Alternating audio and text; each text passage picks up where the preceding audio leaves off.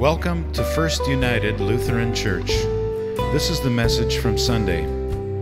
It's our prayer that this message touches your heart and helps to guide you in your life. Let's listen.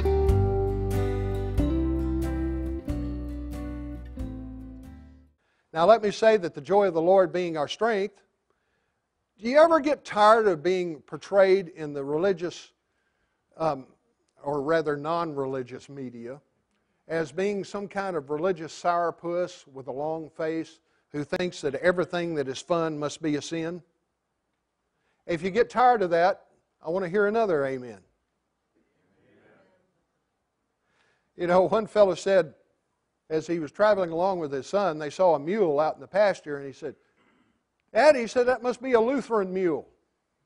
He said, Why is that? He said, Because he has such a long face. To see some people today, you'd think that the one essential doctrine of Christianity is to have a face so long that you could eat oatmeal out of a gas pipe. Supreme Court Justice Oliver Wendell Holmes said, and he once explained his choice of career this way. He said, quote, I might have entered the ministry if certain clergymen I knew had not looked and acted so much like undertakers. What happened to their joy? And ours. Carl Winters, as one minister who appreciates the joyful worship and preaching, uh, he says, When I preach, I try to make people laugh. And while they have their mouth open, I try to give them something to chew on. I know that's Mike's approach to preaching, too. And as much as possible, it's mine. I don't try to be a comedian. I try to accurately portray law and gospel, but if I can open and get people to chuckle a little, bit, then it's easier to get them to chew on something. An old bishop in Virginia once uh, talked to a newly elected congressman who was known for making a lot of foolish decisions. He's, it was pouring down rain outside. He said, Why don't you go outside? He says, Go outside, look up into the sky, and it will give you a revelation. He did as he was asked. He walked outside and he looked up into the sky. And a little while, he came in just absolutely drenched, just soaked to the bone. He said, I feel like a blithering idiot. He said, That's your revelation. Now I've given you a chuckle, I'll give you something to chew on. Christ has one great purpose for believers the completion of their joy. Christ is the primary source of joy. And John chapter 15 and verse 10, he said, My joy. It's not anyone else that can be the source of true joy in our lives, but only Jesus Christ. The angel of the Lord appeared to the three wise men and said, as they were terrified, Do not be afraid. I bring you good news of great joy. For unto you a child is born that shall be to all the people. Today, in the city of David, a Savior is born to you, is Christ the Lord. Is it little wonder that during the Christmas season we sing, Joy to the world, the Lord is come. When we know that the Lord is living within us, when we have Christ as our Savior, we truly have the source of joy. You cannot know the joy of the Lord until you have a personal relationship with the Lord of joy. That's why it's so important that we emphasize to you today, confirmands, that you continue in word and sacrament, that as Jesus said, your joy may be full. Jesus' joy gave hope to the hopeless, encouragement to those who are disillusioned. In Matthew chapter 12 and verse 37, it says that the crowds heard him gladly why? Because joy radiated from Jesus. Truly, he was a man of sorrows and acquainted with grief in the sense that he took our sin and our suffering upon himself at the cross. But joy, the fruit of the Spirit, radiated from Jesus. That's why his disciples were all drawn to him. And of course, Romans 8:28 tells us, beloved, we know that all things work together for good to those who love God and are the called according to his purpose. There's a difference between joy and happiness. The world looks for happiness. Christians experience joy. Joy is not dependent upon circumstances. They're both good feelings. They both are make you feel giddy and, and uh, make you want to laugh and rejoice. But there's a difference between joy and happiness. Happiness comes from the root word hap, and it's a good feeling that is dependent upon circumstances. Whereas joy is that good feeling that you get which enables you to rise above your circumstances. As one fellow came along, he said, How you doing today? He said, Pretty good under the circumstances. He says, Under them? Why don't you get on top of them? Through Jesus Christ, we can truly do that because all things work together for good to them that love God and are the called according to his purpose. And his purpose is that we are predestined to be conformed to the image of his Son. Verse 29. Why do most renderings of Jesus show him somber and serious looking? You ever wonder about that? I wonder about it if he was full of the Spirit, because the fruit of the Spirit is eh, joy. A merry Jesus seems to be kind of sacrilegious to most people. But the fact is, that's what drew his disciples to him. Wherever Jesus was, there was joy.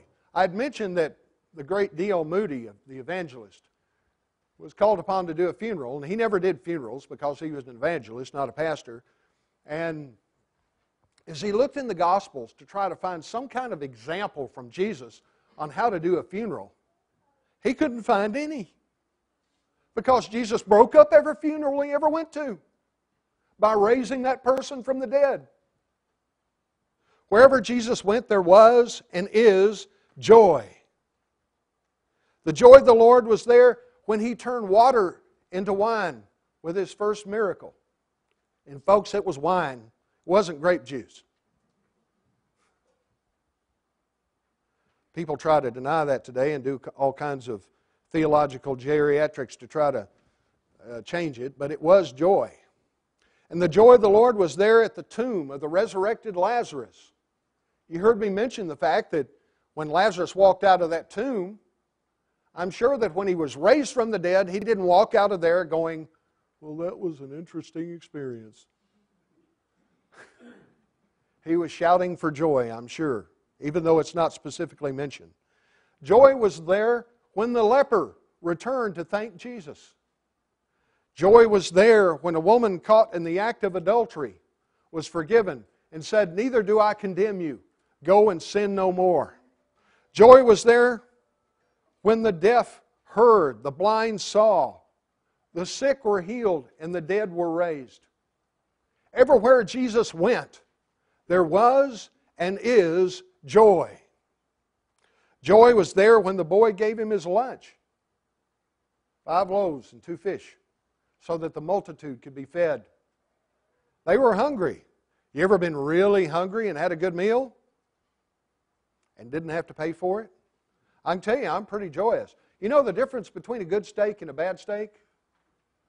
When I go to a restaurant and I'm paying for it, I'll find something wrong with it. But if somebody else has paid for it, greatest steak I ever had. I'm kidding, of course. But you know, the joy of the Lord was there when Jesus fed the multitudes. Joy was there when Jesus forgave Zacchaeus for abusing his authority. Joy was there when Jesus stood up and said, Peace, be still, and stopped the storm. So, where does someone find joy? I believe I mentioned this, but it's worth repeating. In my last message, I talked about it. Joy is an acrostic J O Y. J stands for Jesus, O stands for zero, and Y stands for you. When there's nothing between you and Jesus Christ, when you can say, as Paul did, for me to live is Christ, to die is gain, then you'll have joy that neither the world can give nor can take away.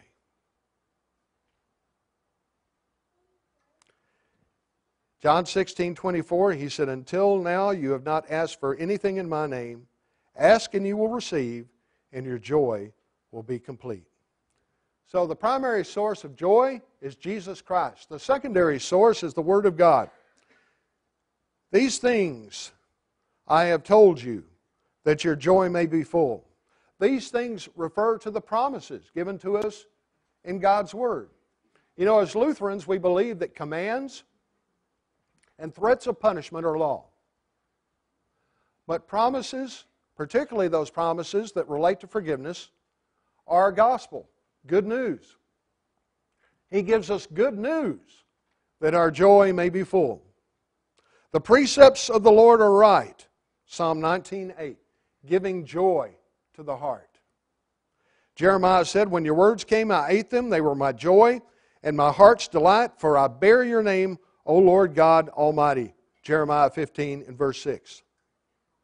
New Testament, full of the joy of the Lord. You'll find people laughing, skipping, jumping, shouting when they are healed and when their lives are changed by a personal encounter with Christ. Now, notice the Gospel of Luke. Jesus came into Galilee after his baptism, filled with the Spirit, and preaching the kingdom of God, a message of good news, a message of joy. And of course, there was joy at Jesus' resurrection. Can you imagine? These men had forsook everything to follow Jesus. They had left all of their chosen occupations. Matthew was a tax collector. Peter, James, and John were fishermen. And Peter was married. He'd left his family behind. And he watched his entire future die on the cross. But then, Jesus was alive again and appeared to them. Can you imagine what joy they must have felt? Well, that same risen Lord is there to bring the same joy to your heart today. All you have to do is ask. During the days after Pentecost, the disciples were filled with joy and with the Holy Spirit. Acts 13 52. They were having such a good time that everybody thought they were drunk. In Acts chapter 2, these men are full of new wine. Says, We're not drunk, it's only 9 in the morning. Instead, this is what was promised by the prophet Joel I will pour out my spirit, and you will prophesy. Everything the Apostle Paul did was done with joy. The list goes on and on. I could spend literally hours on this, but I won't, which would be to your great joy.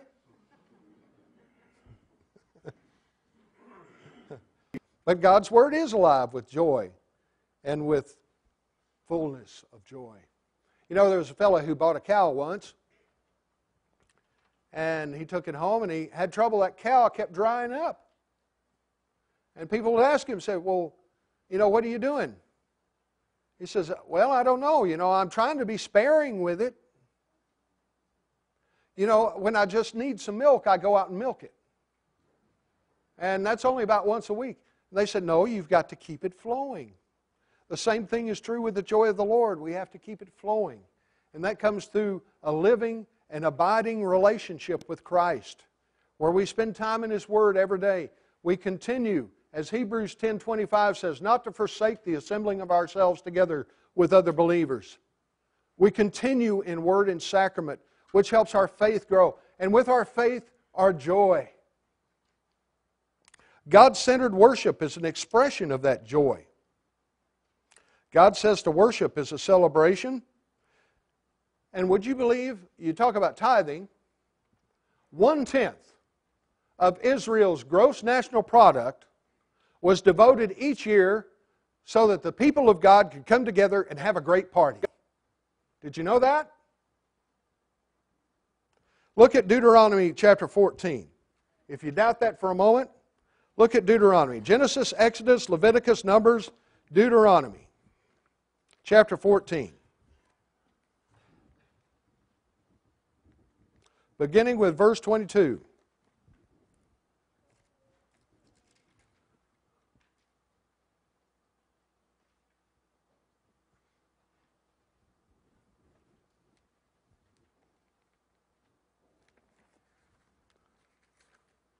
I got my small print Bible today, so it'll take me a second to get over there. Deuteronomy 14 22. Be sure to set aside a tenth of all that your fields produce each year. Eat the tithe of your grain, new wine, and oil, and the firstborn of your herds and flocks in the presence of the Lord your God at the place he will choose as a dwelling for his name, so that you may learn to revere the Lord your God always. But if that place is too distant, and you have been blessed by the Lord your God and cannot carry your tithe because the place where the Lord will choose to put his name is so far away, then exchange your tithe for silver and take the silver with you and go to the place the Lord your God will choose. Use the silver to buy whatever you like cattle, sheep, wine, or other fermented drink, or anything you wish. There you and your household shall eat there in the presence of the Lord your God and rejoice.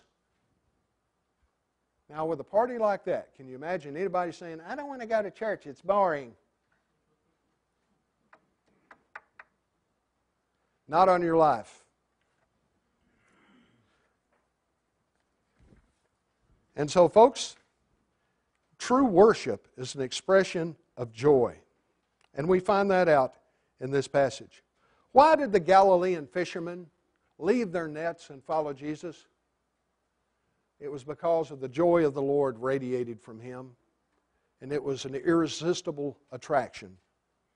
Why did Levi abandon his cash booth and follow him? There had to be something about Jesus that was irresistibly attractive, and it was joy. Jesus was such a man of joy, merriment, and gladness that he was irresistible. The early church must have had that same attraction. That's why thousands of people came to know Christ.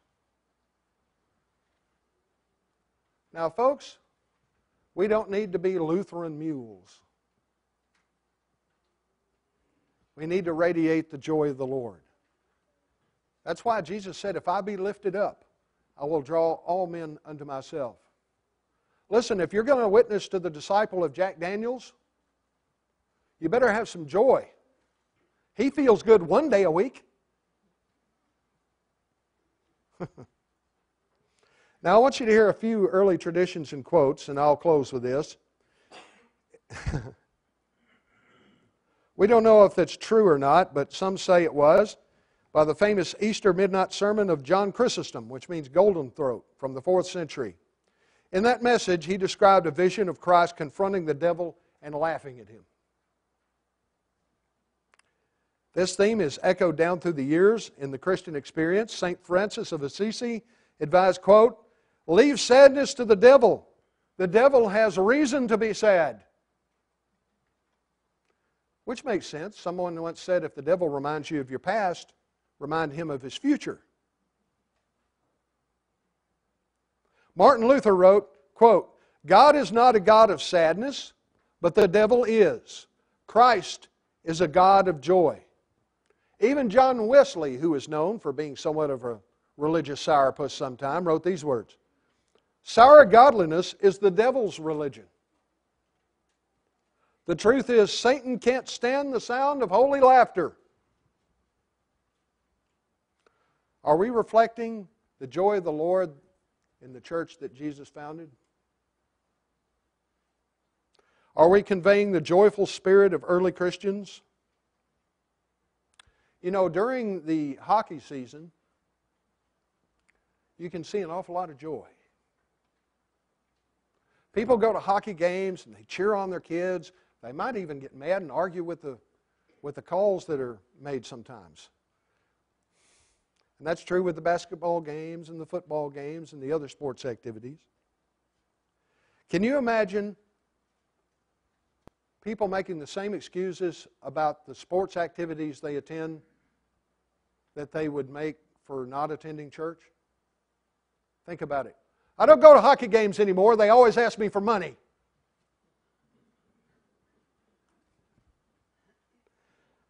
Or how about this?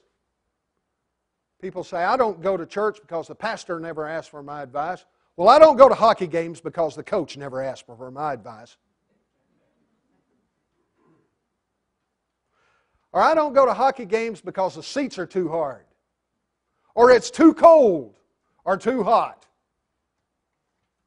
Too many games didn't fit into my schedule. My parents took me to too many games when I was growing up, so I'm not going to hockey games now. But you hear people say, I don't go to church because my parents took me to church too many times. Boy, you hear it all when you're a pastor, trust me. Or I don't take my kids to games because I want them to make their own choices about what sports they like when they grow up. People say, I don't take my kids to church because I want them to make their own decision about their own religion when they grow up. Folks, what would you do? How, do you do that about whether or not your kids brush their teeth? You know, I, I don't want my kids to learn to brush their teeth. I'll let them decide about that later when they grow up. Their soul is more important than their teeth. We forget that. Have you ever wondered what it is that God must feel like when we get more excited about a NASCAR race or a hockey game or a basketball game than we do about the Savior who suffered, bled, and died on the cross for us? That's something to think about. And that joy is there for us if we will but ask and we will but walk in faith. You think about that. Amen. Thank you for listening to this message from First United Lutheran Church.